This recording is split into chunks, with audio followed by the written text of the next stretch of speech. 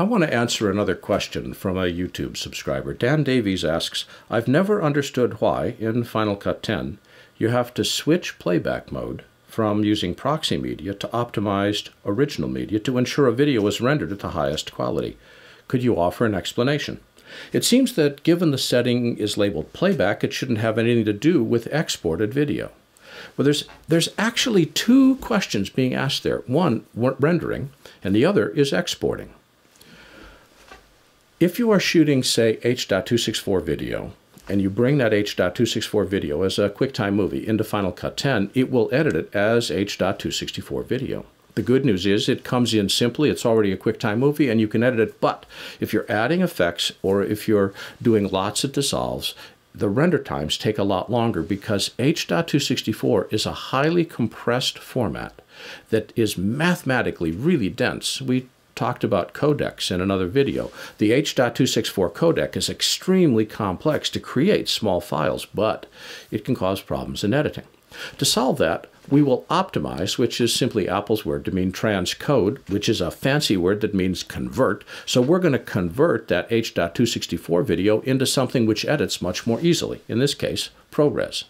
ProRes creates much, much larger files, but they render faster, they output faster, they're just faster and better, and they also have the potential for higher quality than H.264, which is something I'll save for another video. So, we have camera native H.264 or optimized ProRes 422, but the ProRes 422 files are really, really, really big. So there's a third option, which is called a proxy file. A proxy file is approximately one-fourth to one-fifth the size of ProRes 422.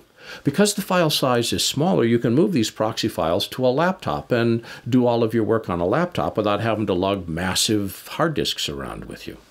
The good news is the proxy files work. The bad news is because they're smaller, they're also lower quality, and there could be problems if you're working with something that needs really, really high quality. Think theatrical projection, projection in a corporate environment, or a broadcast spot. Now, for the web, sometimes proxy is more than sufficient for the web, but you know, your needs are different.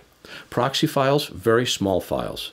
Camera native doesn't have to be converted optimized gives you really, really high quality.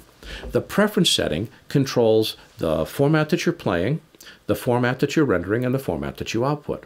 If I wanted to output something really small and tiny, I'd set it to proxy. If I want to output something which is higher quality, then you go back to that preference setting and set it to optimized. If you have optimized files, it outputs the ProRes 422 files. If you haven't optimized, it automatically edits in camera native, and you're able to output H.264 files so that output option is controlled by the proxy optimized setting. Camera native, simple and easy but slow.